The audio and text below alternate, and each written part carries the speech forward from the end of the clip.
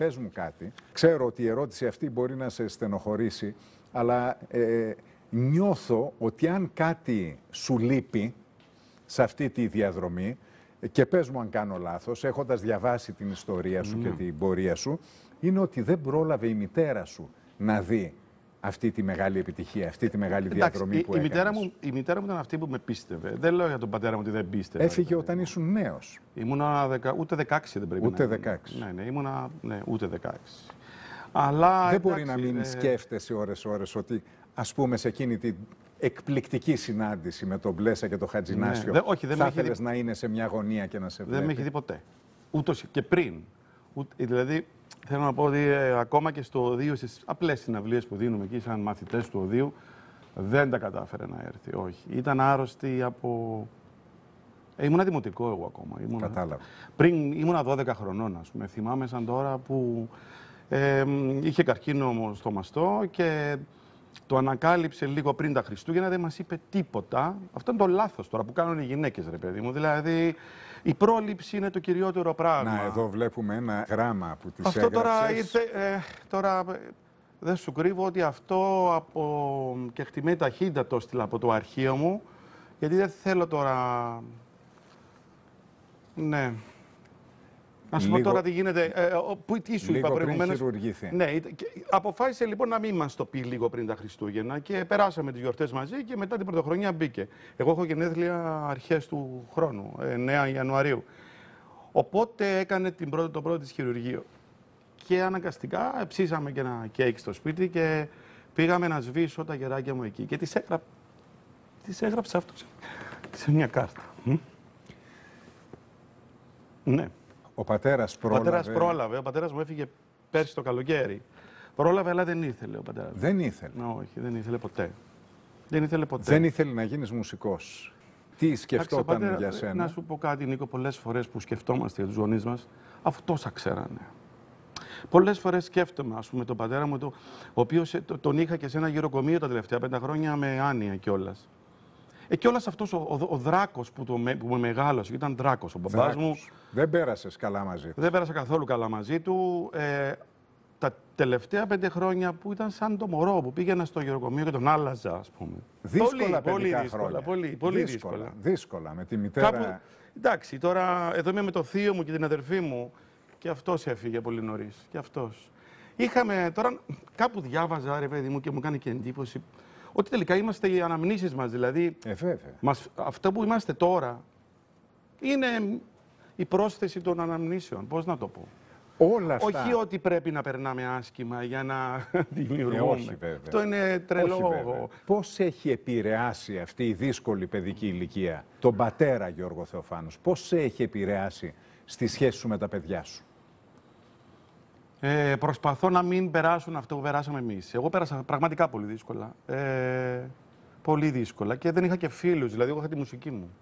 Ίσως και αυτό να με έσωσε κιόλας. Δηλαδή, ε, το βλέπω και τώρα με τον εγκλισμό, με τον κορονοϊό. Εγώ δεν έχω καταλάβει κανέναν εγκλισμό. Δηλαδή, ε, όχι, δεν το λέω κοροϊδευτικά, ναι, ναι. περιπεκτικά προς Θεού. Αλλά έχω μάθει να είμαι μόνος μου. Έχω μάθει να είμαι στο πιάνο μου, να γράφω κάθε μέρα και μου είναι δημιουργικό. Για έναν άνθρωπο που δεν έχει μάθει έτσι, μπορεί να είναι δύσκολο αυτό. Εγώ ε, μ, θυμάμαι τους βομβαρδισμούς, ας πούμε, με τους Τούρκους και μπαίναμε κάτω από τα κρεβάτια, στα, στις κατακόμβες, από κάτω. Ήμουνα πολύ πεισματάρης. Τώρα είμαι πεισματάρης. Φαίνεται, δι- φαίνεται στο χαρακτήρα μου. Είσαι, φαίνεται. Αλλά να σου πω κάτι, όταν το χρησιμοποιώ για καλό, γιατί το χρησιμοποίησα πολλές φορές και για με άσχημο τρόπο, ας πούμε, σου λέω, στα παιχνίδια αυτά, στα, τηλε... στα reality τα οποία έχω συμμετέχει. Ε, θυμάμαι την ημέρα που κάναμε την κηδεία της μαμάς μου, που όλες οι γιαγιάδες, οι θεία- γιατί πέθανε πολύ μικρή η μαμά μου και ήταν και η μάνα της εκεί, και ήταν και η γιαγιά της εκεί και η κόρη της, η αδερφή μου, δηλαδή και τα παιδιά της. Μιλάμε τώρα το ότι έφυγε ο Μεσαίος Κρίκος. Πόσο παράλογο ήταν αυτό Πολύ, το πράγμα. πολύ. Και κλαίγαν όλοι και λέγανε το αρφανάφης. Εγώ όχι, πήγα πάνω, πήγα πάνω από το που βάζαμε τα, το χώμα και τα λουλούδια και όταν φύγανε όλοι, με τράβαγε ο πατέρας μου να φύγουμε από εκεί και δεν έκλαιγα, έτσι. Δεν, τώρα, δηλαδή τώρα, κλαίω πιο, τώρα συγκινούμε πιο πολύ από εκεί. Αλλά ήμουν όχι, όχι. Αυτό το πράγμα θα με κάνει πιο δυνατό. Δεν θα το αφήσω εγώ να με πάρει από κάτω. Και δεν με πήρε από κάτω. Δεν με πήρε καθόλου από κάτω. Λυπάμαι πολύ που έφυγε, αλλά δεν με πήρε από κάτω. Πότε ανοίγεις τα, τα φτερά σου για πρώτη φορά; Και μπαίνεις επαγγελματικά στο χώρο της μουσικής. Σπούδασες στο 2, πήγες και στην Αμερική για Ναι, ένα πήγα στην, διάστημα. Αμερική, πήγα στην Αμερική με υποτροφία βέβαια, γιατί ο μπαμπάς διαφωνούσε, όπως είπαμε, για να γίνω μουσικός. Τι ήθελε να γίνεις, τι ήταν το όνειρό του, ας ε, πούμε; τα, τα πολιτικά της Κύπρου τα ξέρεις. Οπότε Ναι, ο ναι. μπαμπάς μου ανήκε στο Λαϊκό Κόμμα, στο ΑΚΕΛ. Μάλιστα. Ε, ήταν έτσι, α, παρότι η μαμά ήταν αγωνίστρια της ΕΟΚΑ, δηλαδή ήταν ε, τα Ήταν σε αδέρφια της- κόντρα οι δύο Ήταν σε μεγάλη οικογένειες. κόντρα. Το σπίτι δηλαδή είχε και τα δύο. Έτσι, και τη μια πλευρά και την άλλη. Εγώ είμαι ακόμα κάπου στο κέντρο, πώς να το πω. Δηλαδή προσπαθώ να ισορροπήσω λίγο τα πράγματα. Δεν είμαι Ναι. ακραίος σε αυτά τα πράγματα. Αλλά μ, ε, μ, είχαμε μία μητέρα η οποία το 55-59 ε, μ, ήταν μαθήτρια ακόμα. Ε, βοηθούσε στην επανάσταση του Ισιόκα. Έτσι. Όλα τα αδέρφια της τα βάλανε φυλακή, τους ξυλοκοπήσανε, τους εξορίζανε, ζουν όλοι στο Καναδά. Έχω να τους δω από τότε, εγώ δεν τους έχω δει ποτέ. Ο πατέρας μου, παρότι στην αρχή ε, ε, πήρε μέρος στην επανάσταση αυτή, έμενε και στο σπίτι του Αυξεντίου, ξέρεις, ο, του, του Γρηγόρη Αυξεντίου. Του ο Γρηγόρη πατέρας μου. Αυξεντίου. Ε, γιατί το μεγάλωσε η κυρία Αντωνού, η μάνα του Αυξεντίου. Ο πατέρας μου ήταν μηχανικός, αγράμματος, ε, εντελώς, είχε πάει μία τάξη στο δημοτικό, αλλά ήταν πάρα πολύ έξυπνος άνθρωπος. Έφτασε σ- στην πορεία του να μιλάει αγγλικά, άπτεστα να συνεννοείται, είχε επιχειρήσεις μετά. Πολύ μεγάλο μυαλό. Τον θαύμαζα για αυτό το πράγμα που έκανε. Και μου έκανε και μια πολύ μεγάλη χάρη, αφού αναφέρομαι στον, ε, στον, στο Γρηγόρη Αυξεντίου.